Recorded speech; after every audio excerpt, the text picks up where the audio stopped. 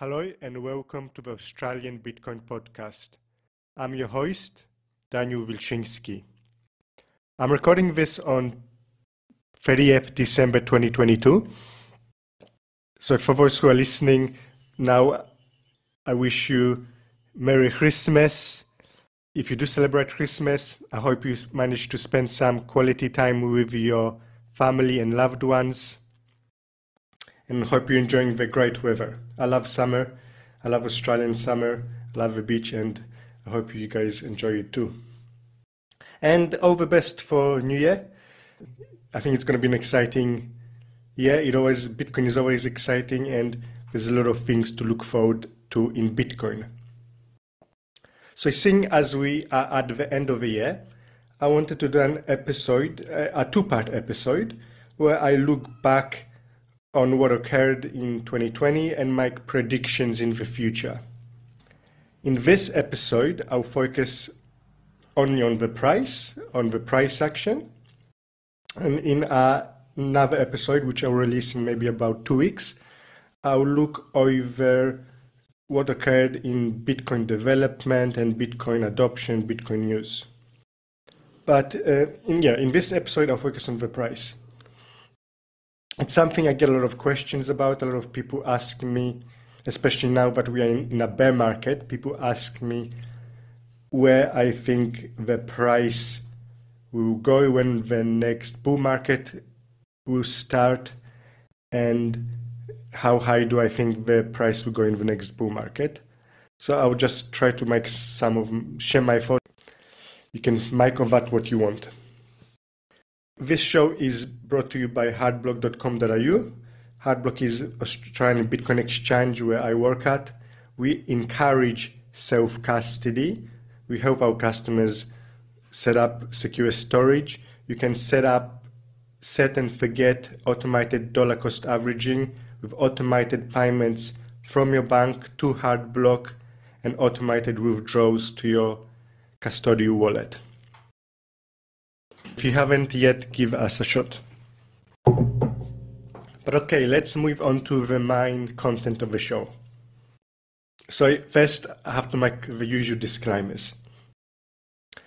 This is not financial advice. I'm just sharing my opinions. I only make educated guesses. I could be wrong. I probably would be wrong. Bitcoin is very unpredictable it's hard to know exactly what it's going to happen. There's a lot of outside factors that could impact the, pre- the predictions, black swan events. There could be some potential, you know, who knows? For all we know, maybe next year there will be a nuclear war between Russia and America, and who knows what that would do to the price. And uh, at that point, would you even care about the price? Or even something maybe more likely will be eh, looking forward will probably be a lot of regulation. What's that going to look at? How will the governments react to Bitcoin? And that would impact the price. But I'll talk about this in another episode. But what I'm trying to get across is this is only a very rough, educated guess because people do ask me, eh, and I'm just going to make some patterns based on predictions but yeah, you have to make your own financial decisions. There's also what you decide depends on your personal circumstances. And basically, don't hold me responsible. I'm just, people ask me for my thoughts, and I'm just sharing my thoughts. You do what you want to do. Having said that, I will brag a little bit. I did make a post all the way back in 2017, before the 2017 peak uh, in that bull market, I made some predictions, and in that post, I recommended, I suggested that people should start selling off when Bitcoin goes above 18,000 US dollars.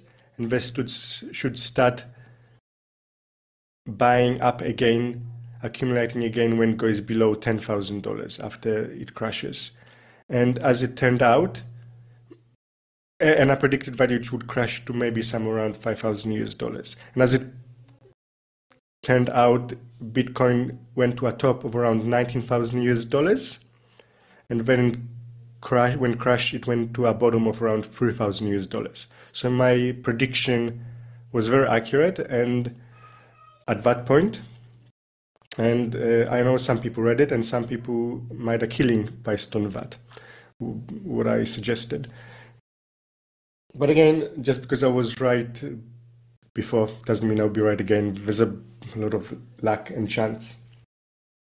But you can see that you can see that blog that blog post. I, am going to actually make a blog post about for this show for this episode because I'll be talking a lot about charts here and prices, and it's hard to get that across on a podcast episode. But I'll do my best to keep things very simple. But if somebody does want to look at some of the charts and prices that I'll be looking at, if you're doing it by visualization, they can look at my blog post. I'll link it in the show notes description. And in that blog post, I will link to my older blog post where my was predictions. That older blog post isn't live anymore, but it can be seen on the Internet Archive on the Wayback Machine, and I'll link to that so people can verify that I'm not making stuff up. And I, I didn't make any prediction. I didn't make any post about the current bubble, the current the just past bull market. So I have nothing to link to link there. Oh, okay. Oh, also, during this episode, I'll talk in US dollars because most of the prices that we see and discuss most metrics are in US dollars, and just to keep things consistent, I think it would be better to just use US dollars. So oh, also there will be some assumptions that I will be making in in my predictions. One assumption is that there will be growth in Bitcoin adoption over the long term. I can think there is bit growth in Bitcoin adoption, growth in Bitcoin Bitcoin development. These things are happening, and I'll talk about what's happening in my next episode. I don't want to go into that, but that's an assumption that I'll be making. I also make the assumption that as Bitcoin gets larger, the market cap larger, Bitcoin ecosystem becomes larger, the Bitcoin cycles, the bubbles and the crashes will become less volatile and more drawn out. Which is which obviously makes sense. Something bigger, like a big blue chip stock, is not going to be as volatile as, as a small cap. That applies everywhere, and I think that will, and it has applied to Bitcoin You can see that the volatility is less than it was in the past. So apart from my blog post, you can also Google a Bitcoin rainbow chart. I think that's a really useful chart for somebody who wants to know the context of the prices and if they want to visually compare where the Bitcoin price is relative to previous bubbles and what's a good buying opportunity and a selling opportunity. I would recommend you Google Bitcoin Bitcoin Rainbow Chart. There's one on a website called blockchaincenter.net, and they have a really good one. And also, I have to say, because people are going to criticize me when I say so, like most Bitcoiners, when I, even my original post four or five years ago, I, I would, my opinion is that you should probably never sell all your Bitcoin, but some people might want to and that's what most Bitcoiners say. They would say never sell your Bitcoin because you're at risk of the market turning against you. But some people want to do a bit of gambling and try to, and to increase their stack over the long term. So in that case, you might want to try and sell off a little bit in during the highs and accumulate during the lows. And I think, yeah, the Bitcoin rainbow chart is a good way to see when's a good time to accumulate and when's a good time to maybe slow down on the buying. but in, in the end, you know, for a lot of people, the goal is to have as much Bitcoin in the long term. So, okay, discussing, we discuss the past a bit and the past two years. From this year, it's very clear that we are now in a bear market. It's starting the obvious, but it was not obvious at the beginning of the year. Um, at the beginning of 2022, we still weren't sure. Maybe it was we were part of a big. Some people making predictions of big super cycle and even going to over a hundred thousand US dollars. And the reason I think a lot of people were thrown off was that this this bull market in 2021 was a bit different than the previous bull markets in that there were two peaks.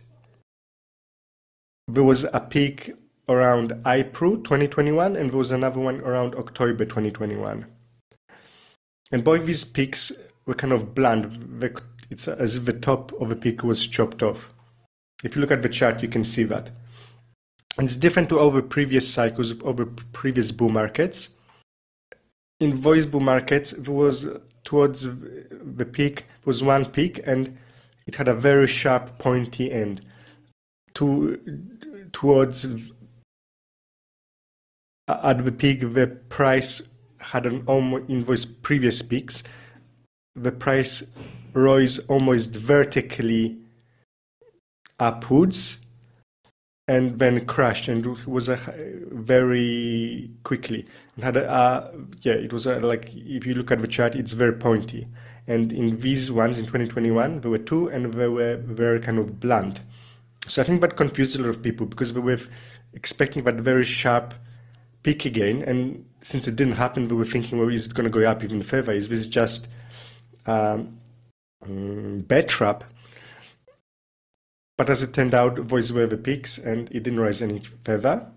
And I think the reason you had this different pattern in 2021, in fact, I'm pretty confident that I know the reason, is that a lot of people, a lot of WIOs, they use the same metrics that I'll be discussing here.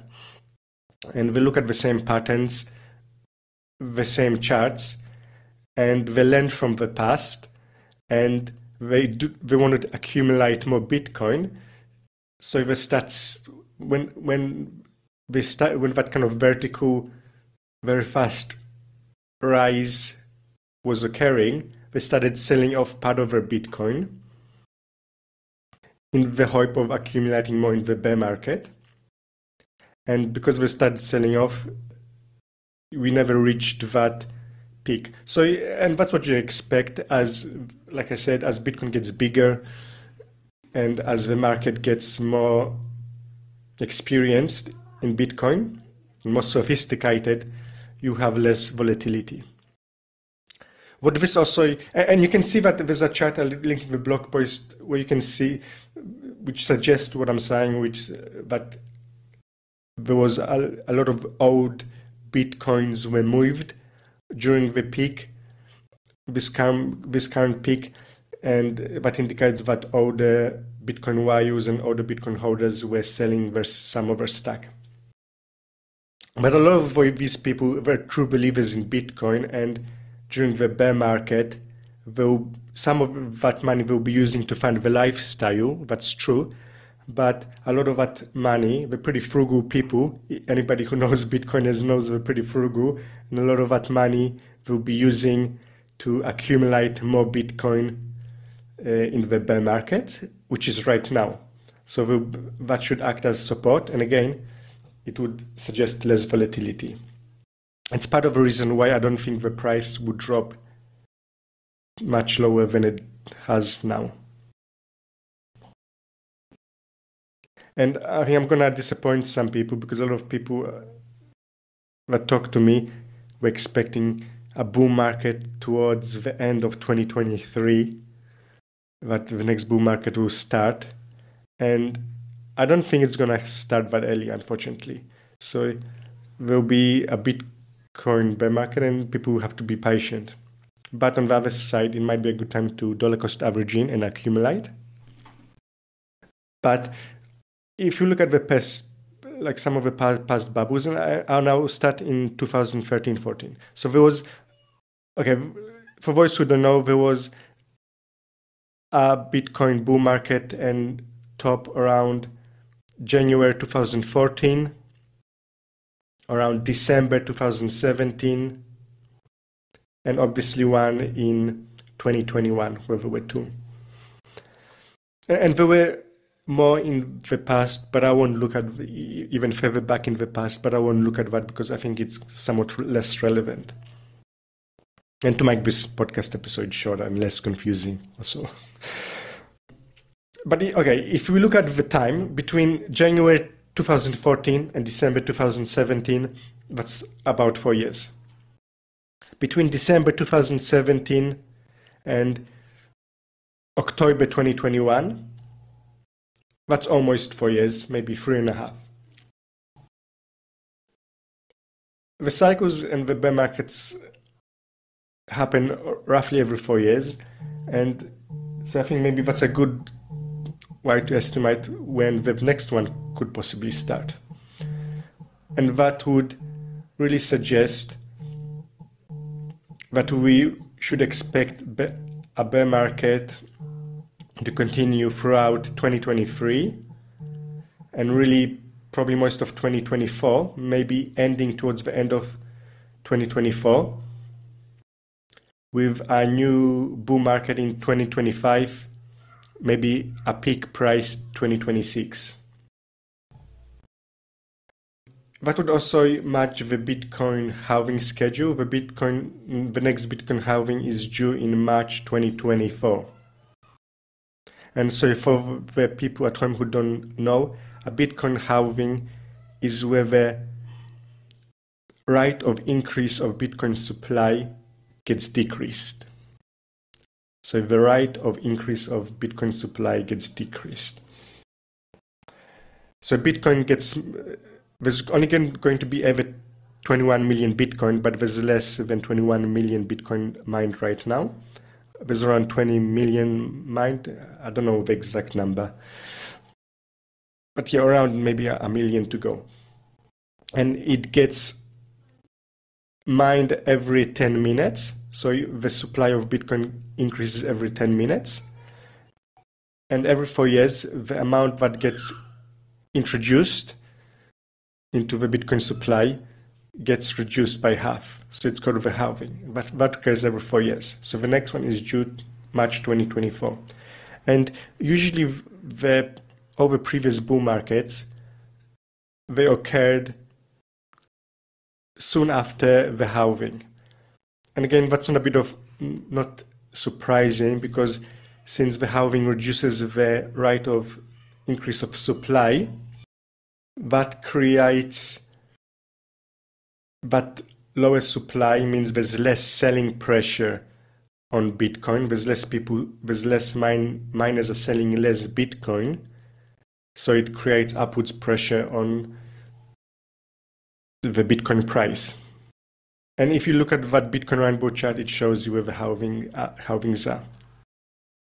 So based on the Bitcoin rainbow chart, the price around end of 2025, the peak price would be around US $200,000.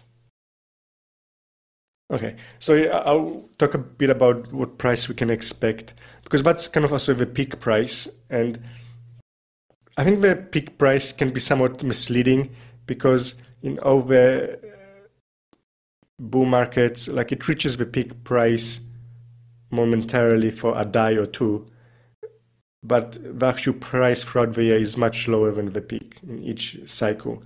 So I'm going to compare the prices in the cycles to expect uh, to kind of come up with a number that we can expect, a more reasonable number. So I'll use the 200 daily moving average to compare the prices in the cycles.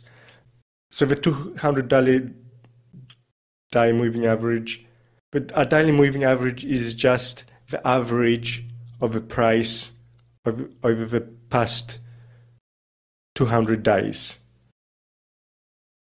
so if Bitcoin price is 20,000 now, like if we, we went up to, to, to 20,000 today, but it's been at 15,000 for most of the past 200 days. The daily moving average today would be around just over 15,000. So basically, it smooths out that volatility on the curve. So I'll go through the, what the prices where the 200 day moving average reached during the peaks and troughs of each Bitcoin bull market and bear market. Around in 2014, at the peak, the 200 daily moving average reached 650 US dollars. Then in 2015, in the bear market, it reached a bottom of 250. Then in the next peak in 2018, it reached $10,300 and then went to a bottom of 4,450 in 2019. In 2022, the daily moving average reached a peak of 48,000 and currently it's at a low of 20,000 US dollars. Those numbers again 650, 250, 10,300, 4,400, 48,000, 20,000. First, I'll, I'll, compare each of those peaks to the to the bottom that followed it. So it's 650 and then went down to 250. So that means it, it decreased by 2.6. In 2018, it went from 10,300 to a bottom of 4,450. So that's 2.3. Then in the current bear and bull market, it went from 48,000 to 20,000 now, which is 2.4. So again, that ratio, the ratio between the high and the low for each cycle was 2.6, 2.3, and 2.4 now. So if that's actually remarkably consistent. Uh, so around 2.4. And how much did it rise between each peak? The peak 2014 650 compared to the next peak 10,300. So that's an increase of 16 times. So from 2014 bubble to the 2017 bubble, that's a 16 time increase. 16 times increase. Then the next one, from 10,300 in 2017 to 48,000 in 2021. That's a 4.6 times increase. So that's actually, so the increase is much lower. So it was, the difference between the previous cycles was 16 times increase. And in this cycle, it was a 4.6 times increase. So yeah, the rise wasn't as high as it was previously, which is not unexpected because like we expect Bitcoin as Bitcoin becomes bigger, it's going to have less volatility and the price rises won't be as dramatic. If the peak that has just passed in 2021 was 48,000 and we had a ratio of increase of 16 and then 4.6 so let's be conservative and in the next bull market, the increase, it will increase 3x, the daily moving average. So 3x 48,000, that's around 150,000 US dollars. So basically, the daily moving average we would expect based on that, or based on the past, to be 150,000 US dollars. So that's wouldn't be the peak price, but the daily moving average price, which means the price should go above 150,000 US dollars and stay above it for a few weeks. And given the past peak to troughs, the ratio was very consistent, like we said, 2.4. So uh, what can we, after the next boom market, what would be kind of a, ballpark figure of where we can expect the price to fall to? Well, if it falls 150,000 divided by 2.4 again, would give us around 60,000 US dollars in 2027. To kind of summarize, I hope, again, I hope this is not too confusing for everybody at home, but uh, it should kind of give you a ballpark figure of what kind of prices we could expect. Again, there could be many outside factors that change this. Bitcoin is unpredictable, but for anybody who asks me what is my prediction for Bitcoin price in the future, to summarize, my answer is I don't truly know, and Bitcoin is unpredictable. But my best guess guess is that we will move sideways in the range 10,000 to 40,000 till early 2025. Around 2025, I would expect a bull market to start that might take us to over 150,000 US dollars for a few weeks before we drop again to around 60,000 US dollars. Yeah, I hope the listeners at home that you got something out of that. Tell me if you did. Uh, you can contact me, Daniel W at hardblock.com.au. You can also find me on Twitter. So, yeah, let me know if you found that useful or if you thought it's just stupid prediction and astrology. Um, know better than astrology yeah, Happy New Year. And enjoy your next year. And I'll be back soon with another episode looking back at everything that happened in 2022. Bye.